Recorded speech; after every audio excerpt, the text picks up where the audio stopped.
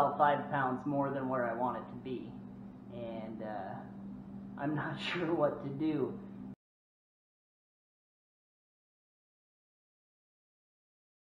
So I put the tiller string on it and twisted the tiller string until I was about at brace height, which is around six and a half inches. And I tried to draw it, and it felt really stiff. And I put it on my little bow scale, and it's way over where I want it to be. Um, so we're going to trap the limbs. Um, trapping the limbs is basically beveling the back of the bow and make a trapezoid cross section.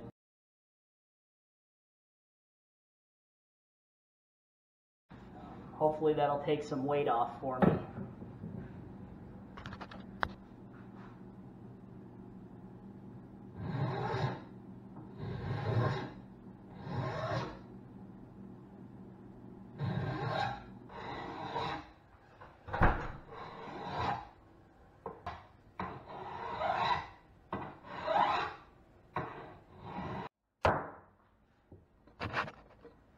The nice thing about that brown glass is I can see high spots, which should help me um, rasp it all down evenly.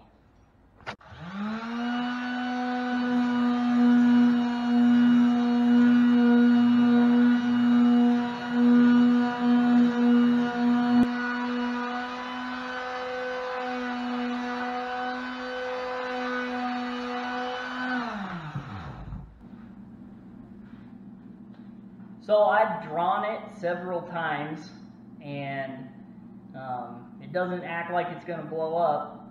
So a little later on this afternoon, we're going to go ahead and take our first shots with it and see what happens.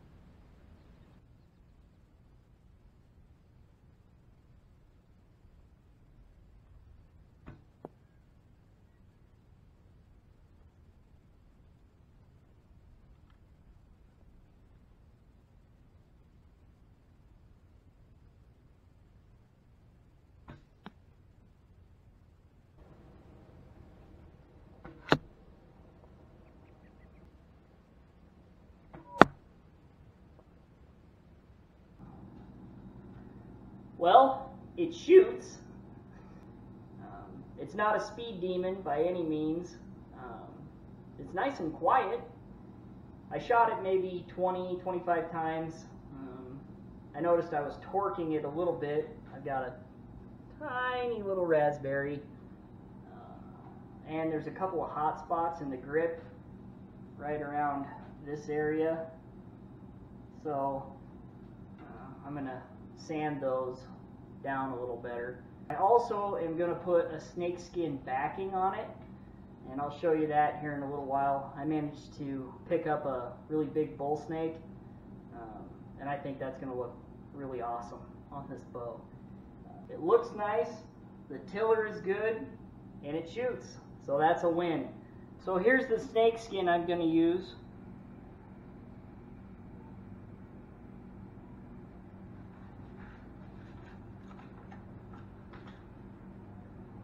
Like I mentioned, it's a big bull snake that I picked up.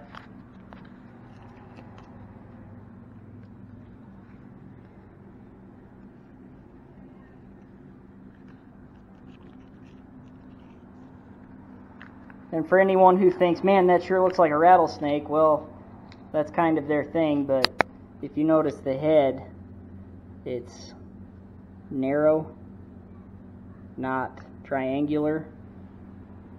And if you look real close, the pattern is quite a bit different, even from our prairie rattlesnakes that we have out here.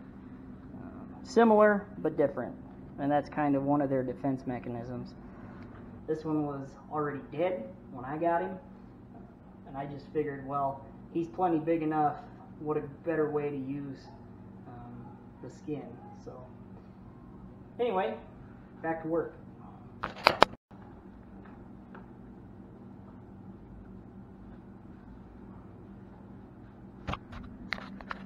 I'm just laying out the pattern the way I want it. I need to cut at the bottom of this chevron.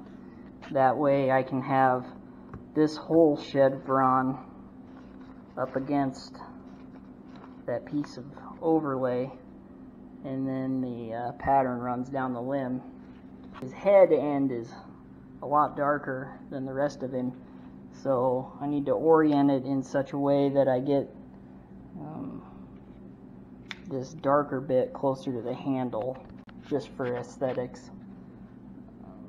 I can't remember if the scales are supposed to point towards the handle. It doesn't really matter in the end um, as long as we do that the same way on both sides because um, we're going to peel the scales off with tape after everything's all glued down.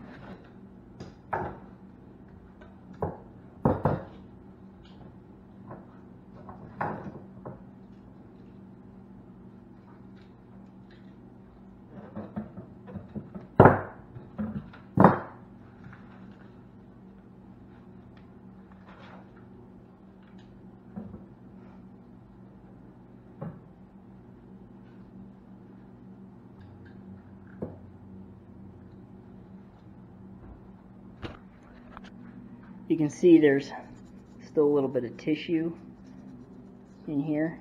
So I'm just going to really carefully scrape that with the blade.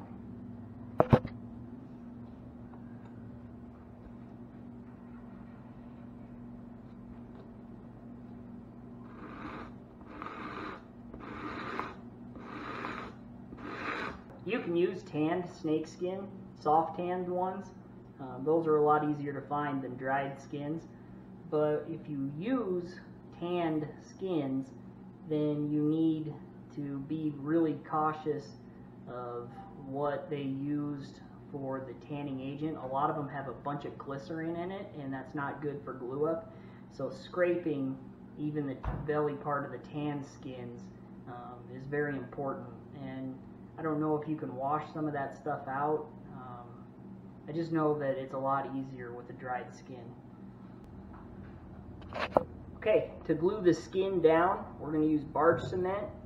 Um, so we'll size the back of the bow with barge cement, and then we'll size the skin with barge cement. And we'll let those get almost dry, and then smush them together, and that uh, that should do it. If you're going to use tan skins, soft tan skins, you need to use Titebond. Um, I don't know why I've tried barge cement on tan skins and it just doesn't hold.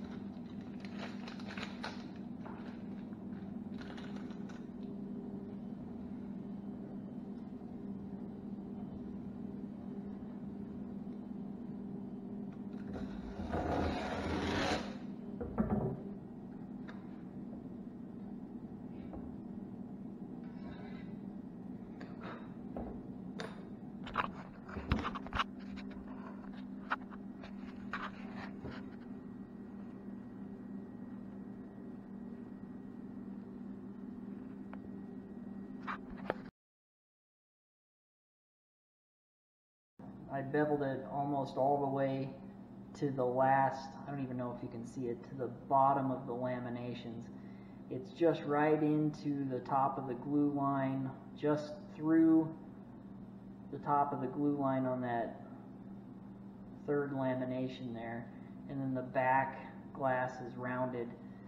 Um, I've gone over everything with 320 grit sandpaper, um, and I think this is as good as it's going to get. Um, it's coming in at 58 pounds um, ish, which is only two pounds more than what I currently shoot. So I'm happy with that. And like, but at some point in time, we have to quit messing with it, or we're going to screw it up. Um, I'm going to go ahead and put my first coat of finish on, and I'll show you what that looks like. I don't have a lot of this Danish oil, but I'm going to put probably four coats on, and then uh, I will top coat it with polyurethane. That's a long process. Um, I have to wait 72 hours from my final coat of Danish oil to when I can put on my first coat of the polyurethane. So I'll show you what it looks like um, with one coat of finish on it, and then I'll probably people watching this series are gonna think, man, this guy only has like three sets of clothes. But once you get some fiberglass dust and epoxy on one shirt, you don't want to wear another one.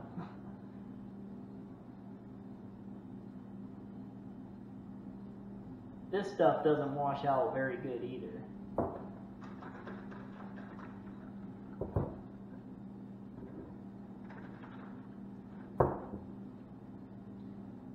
The snake skins will soak up a lot.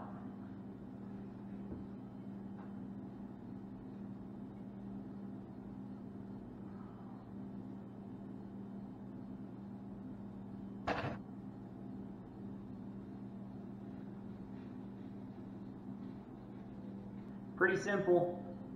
Lots of really light, thin coats. It builds up over time. Um, you don't want to use a whole bunch of it because then you get drips and runs and you make a mess. So, just a little at a time.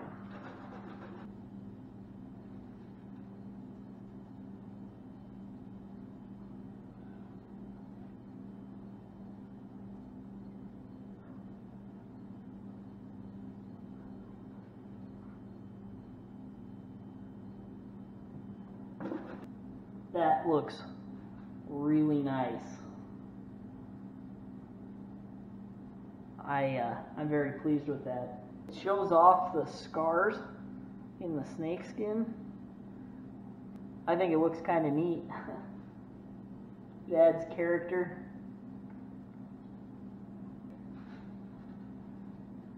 We'll hang that for 30 minutes and we'll come back out and we'll soak the rag again and wipe it down again and that'll be the first coat.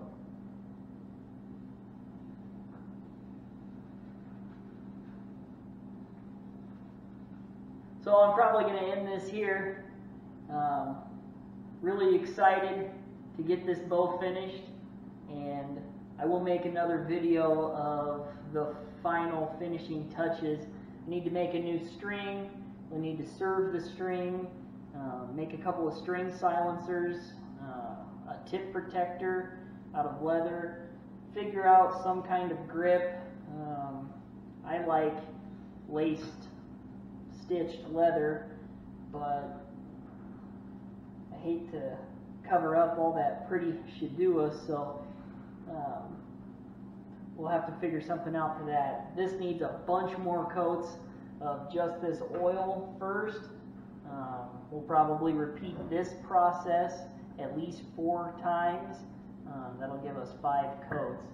And then it's going to have to sit for 72 hours and um, then we'll do probably two coats, maybe up to four coats, really thin, of spray on poly. Um,